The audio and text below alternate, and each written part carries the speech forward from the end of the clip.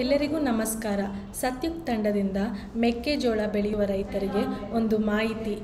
ಕಾಪ್ borer ಅಥವಾ ತೆನೆ ಹುಳು ಅಥವಾ ಜೋಳದ ಹುಳು ಮೆಕ್ಕೆಜೋಳವನ್ನು ದಾಳಿ ಮಾಡುತ್ತದೆ. ಇದು ಎಲಿಕೋಕಾರ್ಪ ಹಾರ್ಮಿಗೆರ ಎಂಬ ಕೀಟದಿಂದ ಹರಡುತ್ತದೆ.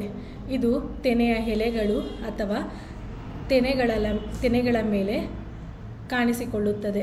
ಇದರ ರೋಗ ಲಕ್ಷಣವೇನೆಂದರೆ ಲಾರ್ವಾಗಳು ಮೊದಲು ರೇಷ್ಮೆಯಂಥ ಎಲೆಗಳನ್ನು ತಿನ್ನುತ್ತವೆ ಮತ್ತು ತೆನೆಯ ಕಿವಿಯೊಳಗೆ ಸುರಂಗವನ್ನು ಕೊರೆಯುತ್ತದೆ.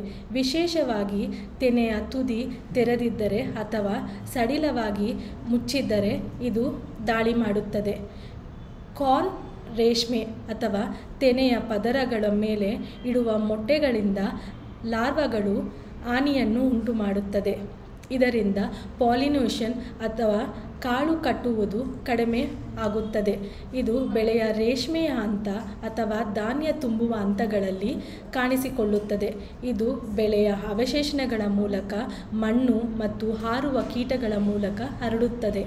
ಇದನ್ನು ನಿಯಂತ್ರಣ ಮಾಡಲು ಲಾರ್ವಾಗಳು ಕಿವಿ ಅಥವಾ ಕಾಬನ್ನು ಪ್ರವೇಶಿಸುವ ಮೊದಲು ಕೈಯಿಂದ ಹಾರಿಸಿ ನಾಶಪಡಿಸಬೇಕು ಅಥವಾ ಫೆರಮೋನ್ ಟ್ರಾಪುಗ, ಟ್ರಾಪುಗಳನ್ನು ಎಕ್ಟರ್ಗೆ ನಾಲ್ಕರಂತೆ ಸ್ಥಾಪಿಸಿ ನಿಯಂತ್ರಣಗೊಳಿಸಬಹುದು. ಇಲ್ಲವಾದರೆ ಪ್ಯಾನಿಕಲ್ ಹೊರಹೊಮ್ಮುವ ಮೂರನೆಯ ಅಥವಾ ಹದಿನೆಂಟನೆಯ ದಿನದಂದು ಮೆಲಥಿಯಾನ್ ಫೈ ಡಿ ಇಪ್ಪತ್ತೈದು ಕೆ ಜಿ ಪರ್ ಹೆಕ್ಟರ್ಗೆ ಅಥವಾ ಪೊಸೊಲಾನ್ ಫೋರ್ ಡಿ ಇಪ್ಪತ್ತೈದು ಕೆ ಜಿ ಪರ್ ಹೆಕ್ಟರ್ಗೆ ಸಿಂಪಡಿಸಿ ನಿಯಂತ್ರಣಕ್ಕೆ ತರಬಹುದು.